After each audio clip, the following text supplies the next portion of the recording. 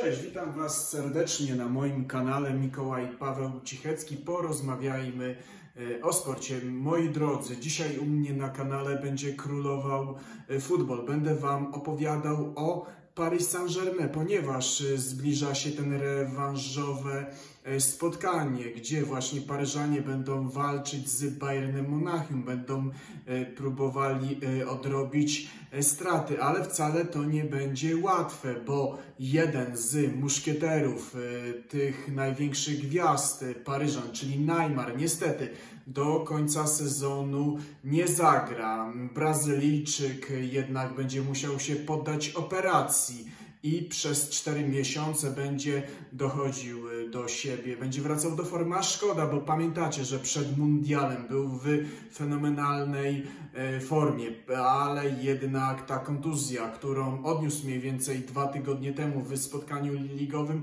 niestety okazała się poważna, bo to jest ta sama kostka, e, która e, no, była kontuzjowana. Pamiętacie, jak w spotkaniu właśnie na Mistrzostwach Świata doznał kontuzji i później wrócił do formy, już nie grał na takim wysokim e, poziomie po mundialu. Pamiętacie, jak po tym e, spotkaniu pierwszym w Lidze Mistrzów z Bayernem Monachium był niemiłosiernie e, komentowany. Szkoda, że już Brazylijczyka w tej dalszej części sezonu nie zobaczymy, ale za to Messi i właśnie Mbappé, ci dwaj piłkarze są w fenomenalnej dyspozycji. Grają, bym powiedział, cudownie i dla właśnie kibiców Paryżan, dla wszystkich Francuzów.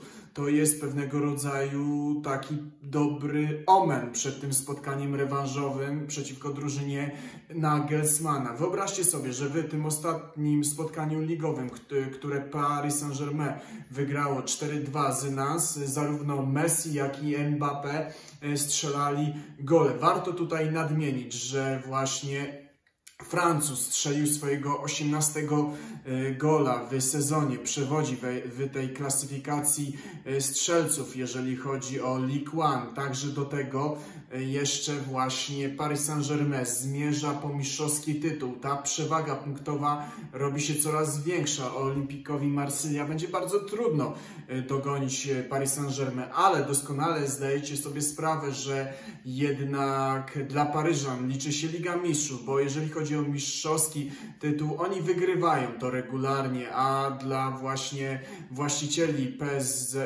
PSG no, liczy się przede wszystkim ta Liga Mistrzów. I właśnie warto właśnie tutaj nadmienić, że Mbappé stał się rekordzistą wszechczasów, no bo właśnie reprezentant Francji strzelił 201 e, gola w historii swoich e, występów. Aby tego dokonać, potrzebował 247 spotkań. Przebił Cavaniego. Pamiętacie tego legendarnego napastnika Paryżan?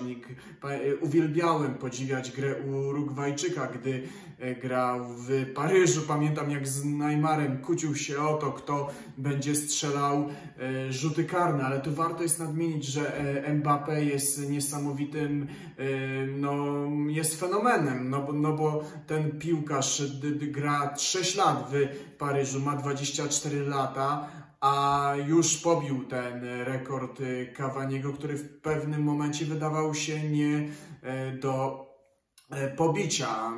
No, chciałbym, żeby właśnie Francuz jak, naj, jak najdłużej grał w Paryżu, a żeby tak się stało, no to jednak E, klub z Francji musi zdobyć e, tą Ligę Mistrzów, no bo doskonale zdajecie sobie sprawę, że właśnie ten fenomenalny zawodnik, jeden z najlepszych e, zawodników świata, marzy o tym, żeby zdobyć złotą piłkę, a żeby zdobywać tą złotą piłkę, no to jednak musi wygrywać Ligę Mistrzów, żeby, żeby, żeby się tak stało, moi drodzy. No i też warto tutaj jest nadmienić, że jest to realne, no bo zarówno Messi, jak i Mbappe są w niesamowitej formie. Ta, także Argentyńczyk początkowo po mundialu trochę ta jego forma spadła, ale znów jakby wrócił na właściwe tory, no bo w piątym spotkaniu kolejnym z rzędu były zawodnik FC Barcelony strzela kolejnego gola w League. Jego liczby są fenomenalne, no, no bo strzelił 13 goli i zanotował 12 asyst. To jest lepszy sezon w jego wykonaniu, jeżeli chodzi o Ligę Francuską, bo pamiętacie, że rok temu tych goli strzelił 6, teraz jakby podwoił tą, tą, tą bym powiedział, te, te liczby są zdecydowanie e, lepsze. No i także warto tutaj podkreślić, że Argentyńczyk moi drodzy, wliczając tą, biorąc pod uwagę tą karierę e, klubową, strzelił 701 goli, zanotował 299 asyst łącznie, czyli jeżeli chodzi o te liczby, e, wykręcił, e, biorąc pod uwagę te wszystkie statystyki klubowe,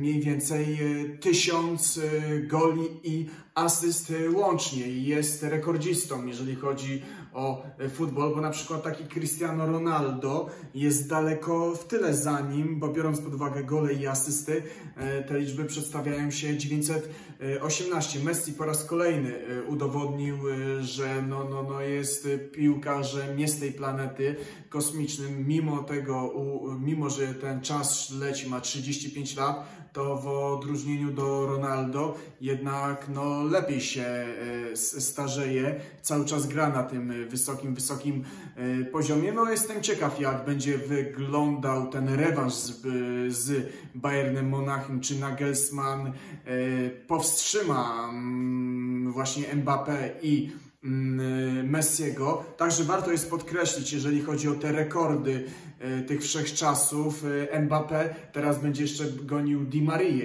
jeżeli chodzi o ten e, paryski klub, no bo pamiętacie, że ten legendarny skrzydłowy Paryżan, który gra teraz w Juventusie Turyn, notował bardzo dużo asyst. Mbappé brakuje 24 asyst, żeby dogonić Argentyńczyka. Jeśli właśnie wicemistrz świata zostanie w Paryżu jeszcze kilka sezonów, to ten rekord, rekord jest spokojnie e, do pobicia. Tutaj patrzę na moje statystyki. Jestem ciekaw, jak ogólnie oceniacie Mbappé, Messiego. Co myślicie o tych rekordach, e, co ci dwaj piłkarze wykręcają? Wiadomo, że Messi za to, że zdobył mistrzowski tytuł w Katarze i, i także, że jakby po mundialu dalej jest w wysokiej formie, to jest, można powiedzieć, prawie pewne, że ten piłkarz zdobędzie kolejną swoją złotą piłkę. Ale właśnie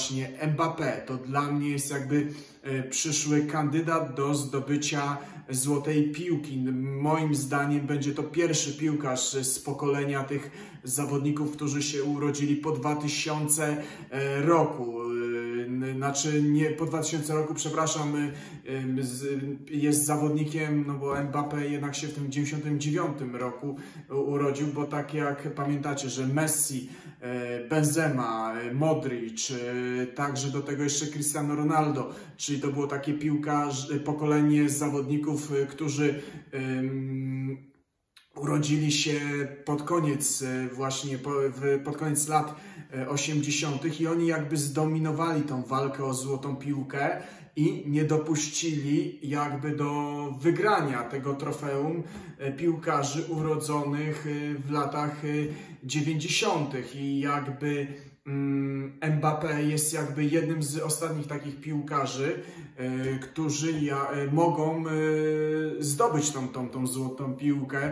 Ja z niecierpliwością czekam jakby na tą rywalizację w przyszłości, kiedy już jakby Messi z tej sceny zejdzie, ta walka o tą złotą piłkę będzie się rozgrywała między Halandem, y, między właśnie Mbappé, plus do tego liczę, że dołączy Vinicius, jeśli dalej będzie grał tak fenomenalnie, będzie się rozwijał, będzie miał takie liczby niesamowite, to myślę, że między tą trójką będzie się rozgrywać ta walka o, e, o tą złotą e, piłkę, e, mo, moi drodzy. Powiem Wam szczerze, że jestem pod wrażeniem tych rekordów, które właśnie Mbappé i Messi pobili. Jestem rozczarowany tym, że jednak Neymar doznał kontuzji i już go w do końca sezonu go nie zobaczę. Biorąc pod uwagę to, że Brazylijczyk tak często jest kontuzjowany, to to mi się wydaje, że z biegiem czasu chyba ten piłkarz najwcześniej zakończy karierę, długo go nie będziemy jeszcze e, oglądać.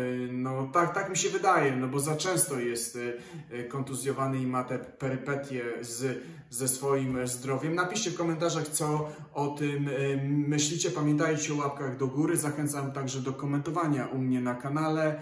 Tym wszystkim, którzy subskrybują mój kanał serdecznie dziękuję, a tym, którzy nie subskrybują, zachęcam do subskrypcji. Jeżeli chodzi o takie sprawy bieżące, wtorek i środa to jest Liga Mistrzów. Będę specjalnie dla Was E, komentował e, te zbliżające się pucharowe e, spotkania. W czwartek będziemy mieli Ligę Europy i Ligę Konferencji, więc u mnie na kanale pojawi się moja analiza, moje wnioski po spotkaniu Lecha Poznań i Szachtara Doniec, a w piątek będą wracać skoki narciarskie, no i także coraz więcej będzie się pojawiać tematów, tematów związanych z reprezentacją Polski, także spróbuję nagrać jakiś materiał o polskiej ekstraklasie. Serdecznie Wam dziękuję za uwagę. Życzę Wam miłego, udanego tygodnia. Do zobaczenia wkrótce, moi y, drodzy.